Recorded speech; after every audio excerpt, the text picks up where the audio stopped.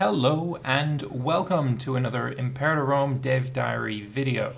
So yesterday I made the video about the buildings teaser that Johan had put on the forums and on Twitter and it teased more than just the buildings. So for reference, um, what he did was he showed off the new buildings. There was going to be 15 new, sorry, 15 buildings in total, so 11 new buildings and a couple of them had interesting modifiers about population manipulation. And uh, at the end of that teaser, there was obviously stay tuned for tomorrow's Dev Diary where we're going to the population mechanics. Lo and behold, the population mechanics have been unveiled. So here we go. Hello everyone, and welcome to another Dev Diary from Imperator. In the Cicero update, we're changing the instant population manipulation mechanics, say that 10 times fast, uh, to become a simulation over time that you can nudge. I'm very pleased with that change. Um, that that should be how pops should have been done forever because that's just the way it works. Um, so pop movement and migration. Slaves from near neighboring cities or cities within the same province can still be moved manually into a city for a cost, somewhat similar to before. Um, good stuff. I hope that the cost, at least for slaves, would be gold um, because that makes sense to me that you know the if the state wants slaves to be in a different location, then they are paying the owners of said slaves and then moving them themselves. Um, and the reason the cost wouldn't be astronomical is because they would then sell them on in the next city, maybe something like that. But either way, I, I think gold would be the best uh, currency to use for that. This will also be possible for tribesmen if you are a migratory tribe. I don't think gold really works from tribesmen. Maybe the new political influence would be better for that. I'm not sure. Either way, he doesn't say what the cost is, uh, so speculation is all we've got at the moment. Each city can also have one pop migrating at a time. If the migration attraction in a city is X more than that of another city, then migration can happen to it if three conditions. The destination city is a neighbor of the origin city, so being adjacent. The destination city is in the same province as the origin city. Um, then we've got the origin city and the destination city are both in provinces with ports in the same country. Uh, so we could see quite a lot of pops moving around. I think it's going to be something to really balance. Um, because if I, I feel like there is going to be quite a lot of pops being moved to borders um, because if you think about it, um, migration can happen across borders, even if they're in different countries, and pops can move uh, to any location within a province. So I, I think you're going to end up with quite a lot of pops being moved to the borders, although if the interior of a province is more uh, better off, let's say, more attractive for migration, you might end up seeing pops from, say, this green one, this is Samnium, I think, um, moving to, say, Vesinth, and then again after that moving to uh, Velkal afterwards, if Velkal is, is much more attractive.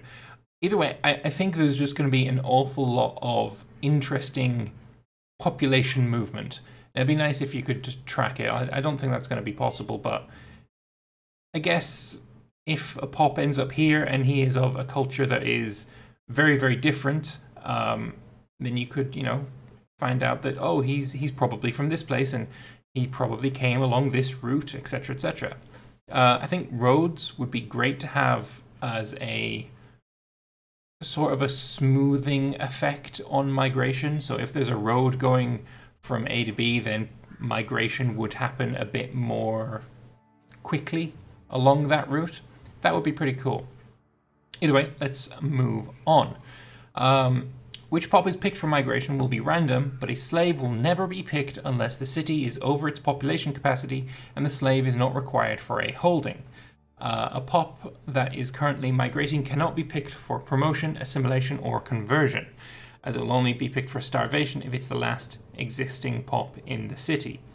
Alright, that sounds pretty cool. Um, with it never being a slave, that makes sense. Like, slaves wouldn't migrate on their own. They're they're owned, right? It's their owner that is is choosing where they go. Um, so yeah, that makes sense to me. Um, pop that is currently migrating cannot be picked for promotion, assimilation, or conversion because these are also automatic. Anyway, let's let's move on. Uh, the speed of migration is increased or decreased by modifiers, such as a city being looted or a certain governor policy being used. I'd like to see more depth on this. Um, you know, Johan, give give us a bit more. These are only two different mo uh, modifiers. I want more. Is there a road? Uh, is there a much higher pop cap in the destination? Is it got more civilization value? Uh, these kind of things. Has it got more buildings? Um, has it got a more attractive trade good? All this kind of thing would be really nice to see. So, pop promotion. If the population of a certain pop type is below 33% in a given city, then a random pop is picked for promotion. This pop will then over time start promoting to the underrepresented pop type. The speed of promotion will be dependent on modifiers as well as using the social mobility governor policy. So basically it's like social mobility is permanently on and this will, I guess, make it go faster, um, which is fine by me. I, I like the governor policies and having all of them still exist but make their effects happen more rapidly but they're already happening automatically at the same time. That that's great. That's that's fantastic. That's what I want to see. So pop assimilation and conversion. Similarly to pop promotion, assimilation, and conversion, um, con sorry, yeah, pop similarly to pop promotion, assimilation, and conversion, will happen. That's worded wrong. But conversion uh, will happen to one selected pop at a time. No, wait, it's not written wrongly, or it sort of is. There should be a comma here. Similar to pop promotion, assimilation and conversion will happen to one selected pop at a time. Unlike the other two, there will always be one pop chosen as long as there are pops in the non-state religion or culture. The speed at which conversion takes place is dependent on a number of local and national modifiers. Uh, however, which means that the de facto pop might not be assimilating or converting. Okay, that seems fine. Uh, speed at which conversion takes place is dependent on number of local and national modifiers. Um, okay, so maybe these modifiers mean that they can't promote or convert at all. That seems to be what I'm reading. Um, yeah, more more modifiers. Uh, let me know the modifiers. Uh, as you can see below, the pop interface is in the process of being completely reworked for Cicero. So let's have a look at this UI. Is it easy to read? Is it easy to understand? Um, nobody's migrating away. Let's have a look here. You're migrating to Ostia, but nobody is migrating away, but it says that it is. I'm not sure I totally understand this UI. It's going to have to be something I look into a bit more. Okay, okay. Yeah, I, am not really understanding this, this UI just yet, but again, I haven't played with it, so... It could be pretty easy to understand once you actually get your hands on it. I don't know. Um, as the impact of governor policies now scales with finesse, you need a really good governor and perhaps a few special buildings to be able to convert or and assimilate uh, with another dominant religion and culture. So, pop conversion Speed base is 1, religious conversion plus 9%. Dominant religion is not state religion. Okay, so that lowers, that that's what it was on about up here. Um, if the dominant religion and culture is not of the primary, it's going to slow it down. Uh, so this is going to be very useful for, say, your capital when it's taking in foreign slaves. Your capital is going to obviously be uh, probably your most populated city it's going to have your primary culture, your primary religion, and that's going to help ease the wheels or smooth the grease or whatever um, of getting those foreign slaves promoted to you know your own culture, your own religion. So that makes sense. I like it. It's a good way of making it not be a case of you know I've conquered all this area, and now if I just wait, everyone's going to be my religion and culture. Yeah, no, that's really good. That's that's a smart way of doing it. I like it. Uh, you can still manually move slaves as you like between cities for a price in gold. Oh, perfect. Uh, but the UI has been completely changed, so instead of selecting a pop then a target, you instead go to the city you want slaves in and select what type of pop you want and its origin, uh, and click for as many as you want in the same UI. That makes more sense. That That's a lot less clicking. Instead of three clicks or four clicks per pop to move, it's, I guess, three clicks for the first pop and then one click for each pop after that. No, I like it. That, that's, uh, yeah, no, I like that. That's good. That's good. Considering you can't move, or it seems like you can't move citizens, freemen, and um, then, yeah, this makes a lot more sense to have it this way. I like it. That's good. And that's the end of the dev diary. So, um, not a very long one, but huge, huge impact to the game. Um, pops are now more lifelike as I said, my second video ever was static lifeless pop mechanics. Not anymore. Not anymore at all. This is incredibly... It's, it's an incredible improvement to the game, in my opinion. This gives the game more life. So you're not playing a game, you're, you're actually managing a country. And the pops aren't just numbers, they're actual things.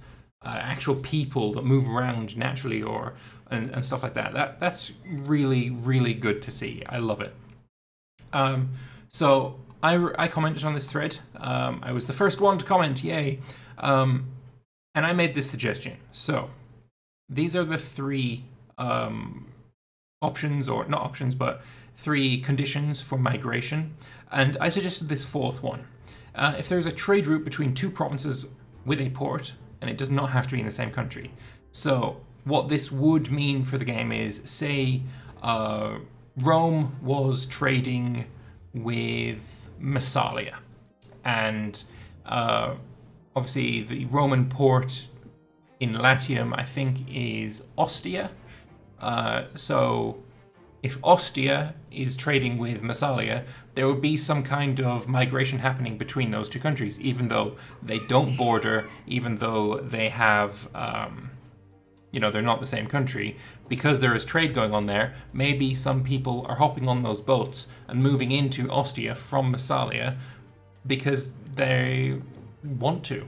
It would also mean that trade as a smaller nation or a tribal nation would be a little bit more dangerous because you don't want your people thinking that they can make a better life in a better country. So I like it, and that, that would be that would also add some more life to it. If your pops are really unhappy with you because your country is a flaming garbage heap and you start trading with somebody else, they could think, you know what, I kind of like the idea of fucking off over there.